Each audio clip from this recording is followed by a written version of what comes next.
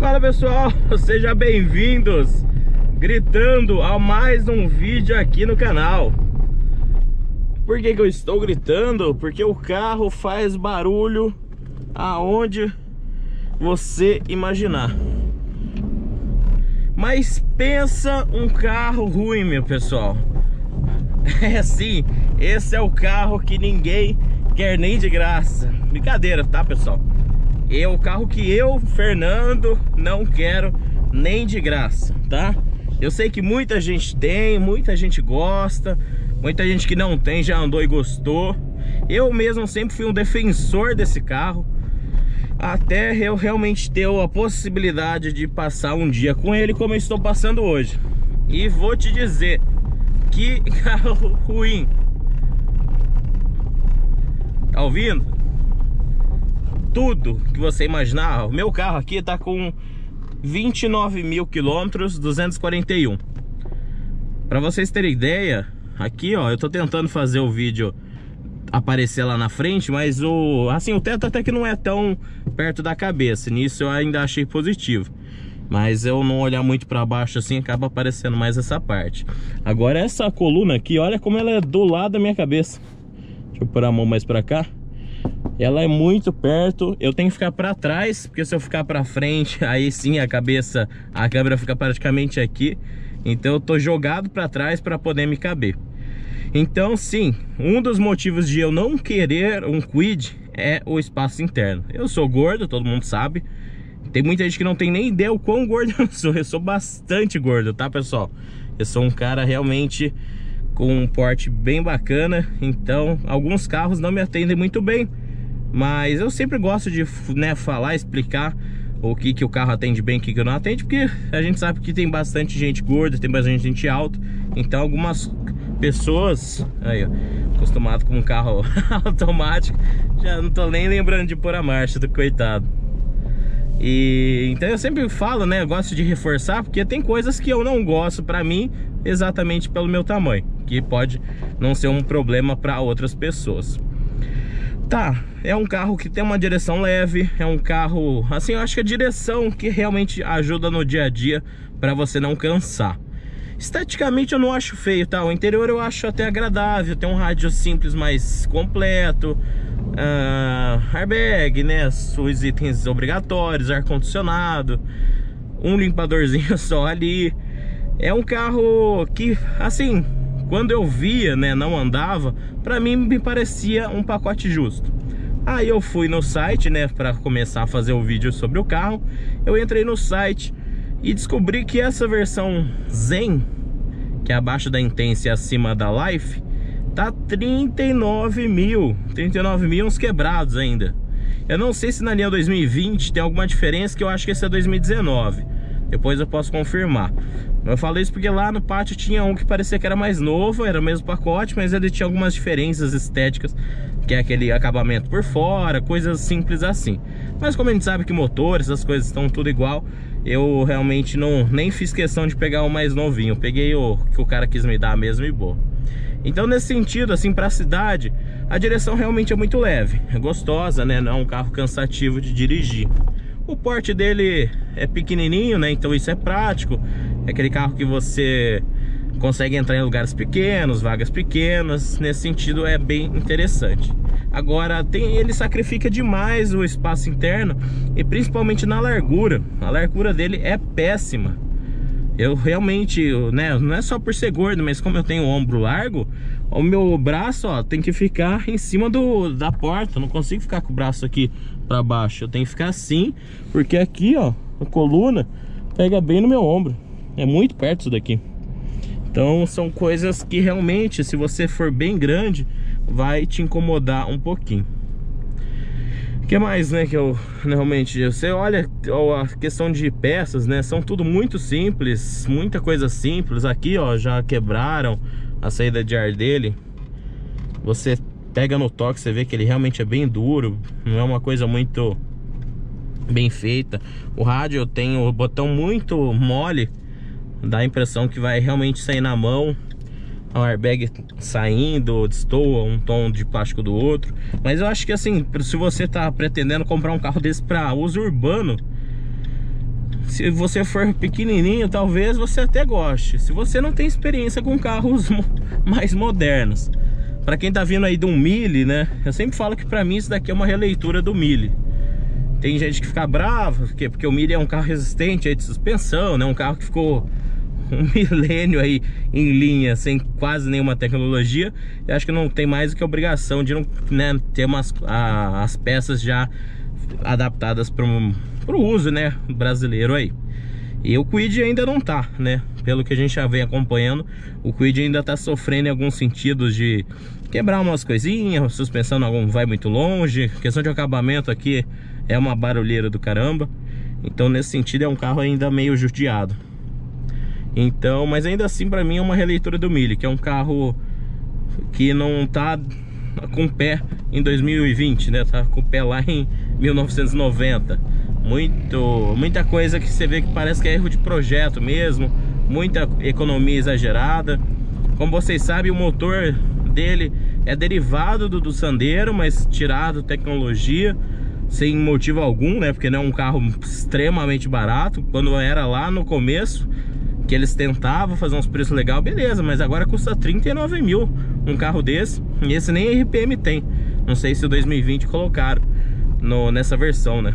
Então são coisas que não dá realmente para entender Como que um carro de 39 mil ainda fica miguelando, né? Ainda tem o de 42, se eu não me engano, que é o Intense E ainda tem o Aventureirinho lá Como que um carro desse precisa ter um motor capado, né? Para vender por esse preço? Não precisa, porque você olha a estrutura do carro, é muito vagabunda Tudo safado, tudo vagabundo mesmo Plasticão né? Todo carro é plástico, é, mas você sabe quando um plástico é melhor do que o outro. Questão de montagem das peças, tudo mal encaixado, mal alinhado. E não é Detalhe, né? Eu tô, é um carro que cabe gente atrás de mim? Não cabe. Eu tô matando totalmente espaço atrás de mim para poder dirigir ele. Ou seja, é um subcompacto no, no melhor estilo por 40 conto, entendeu? Até onde que isso realmente é um carro popular, né? E para mim é um carro que perde totalmente sentido quando você coloca nessa faixa de preço. Não faz mais sentido. Por 35 mil completo, com ar, né? Direção tal, você pensa, ah, beleza, né? Não tem muita opção, zero. Tô com o dinheirinho ali contado, acho que vou encarar. Mas por 39, pelo amor de Deus, pode esquecer. Eu realmente... E pra mim, ah, o, a questão dos pedais, né? Que eu acho que é o que mais incomoda. Como eu sou grande, já começa que uh, o pé da embreagem... A embreagem já é esquisita, parece que ela é meio alta. E aí quando você tira o pé da embreagem e vai buscar do lado esquerdo algum lugar para apoiar o pé, não tem. Simplesmente é um buraco do lado esquerdo do pé. Então não tem onde colocar o pé.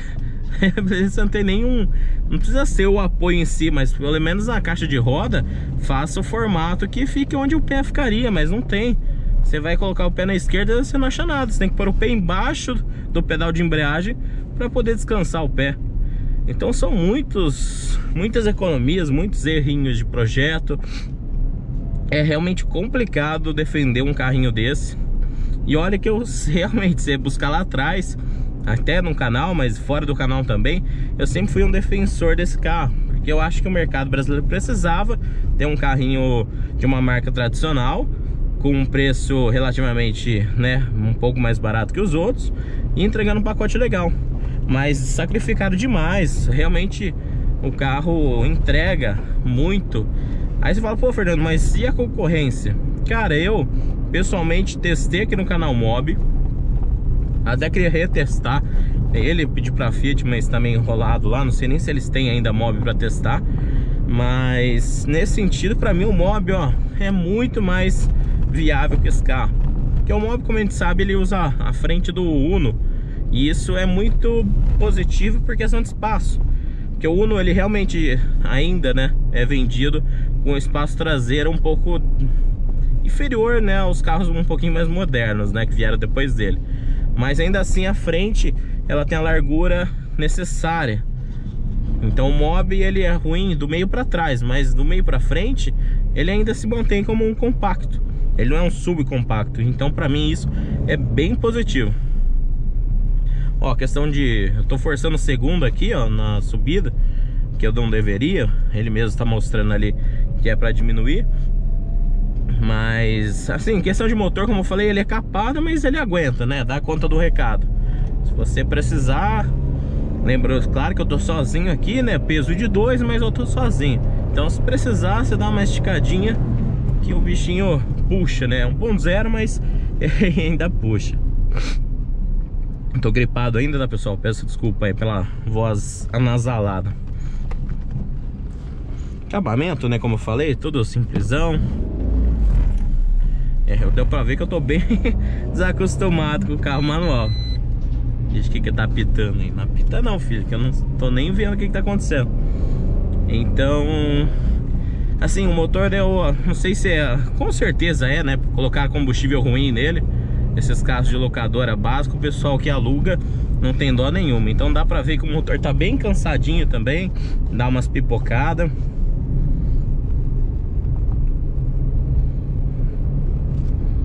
Assim, de destaque mesmo Claro, eu não queria fazer esse vídeo só falando mal do carro. Eu realmente achei a parte de... A suspensão, por exemplo, não é das piores A suspensão até absorve bem a, as imperfeições aí do asfalto.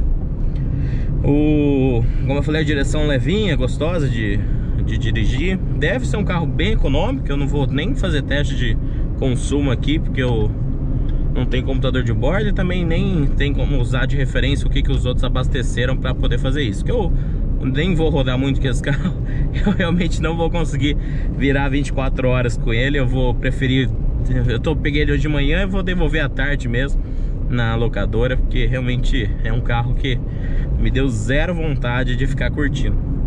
E realmente para mim, Fernando, ele é extremamente cansativo. Minha perna aqui, ó, fica doendo porque é muito mal apoiado no console ali embaixo.